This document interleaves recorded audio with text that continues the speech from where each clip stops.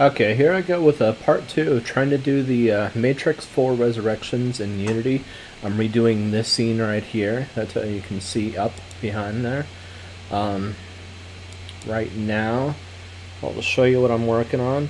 I'm actually doing this in uh, HLSL, so it's high, high language shader language. I don't know what that means. Anyways, um, you've got uh, two ways to interface with the uh, graphics card um, inside uh, Unity. One's through GLSL and the other one's uh, HLSL. And you can also do it through the traditional just vectors and plotting points and throwing cubes and shit like that on. But this is a, uh, a way to do textures that, that makes it uh, a lot faster. So the texture that I've got right now, this one right here, is a uh, just a, a flat two-dimensional thing that I'm rotating, that I'm just moving on the axis. And what I just did was I created a HLSL uh, um, that allows me to do, if I get to it, make sure I'm in the right window here, this. Now, this is a, um, like I said, it's an HLSL, HLSL shader function. And I've got it so where I can scale it so I can actually change the functionality. And it's over there on that wall too.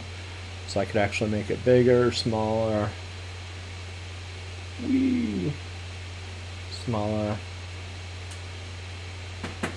But that's my little test cube right there. Now, I've got a couple problems. If you look down here, you can see that a, a number remains fixed, or a letter remains fixed as it's floating down. That's pretty much how it works inside that uh, the Matrix 4 Resurrections video, and also what I've seen in uh, other things too. So once it uh, once a number's hit, it doesn't rotate. And if you look at this, it doesn't quite do the same. The number changes. This is pre-canned. Somebody else actually had done the work for me, and I imported it as a GLSL shader, GLSL shader, and I ended up importing it and converting it over.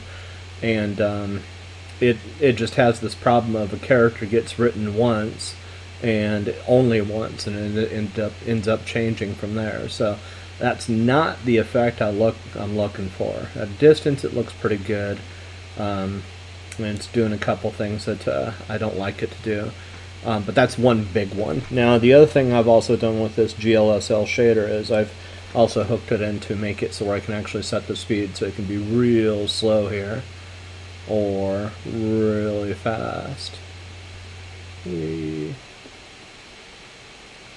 That's about as fast as it goes right now.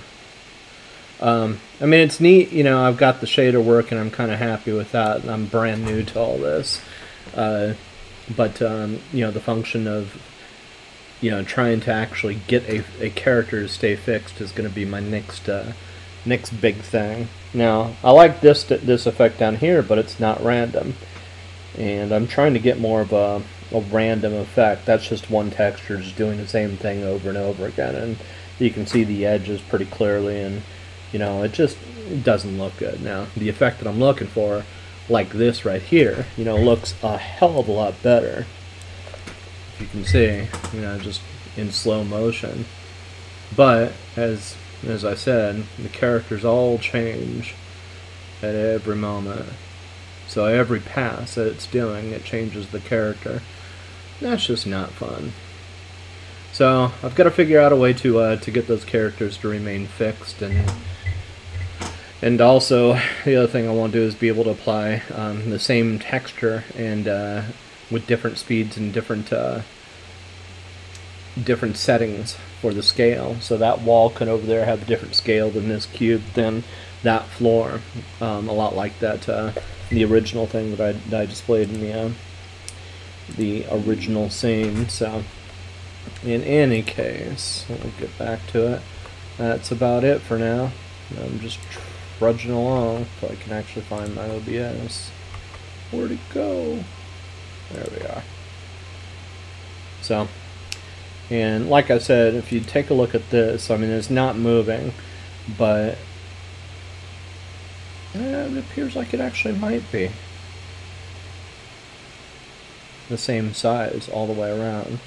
So I might not have to worry about scale. But I'm definitely going to have to worry about density, because if you can see, Off to the right, there's a little window, um, the little sign up above, the density up there. It's going to take some playing, quite a bit of playing to get that shader to work like I want it to, but like it does on this screen. That's kind of my challenge to myself, is getting it to work like that. So, anyways, thought I'd share.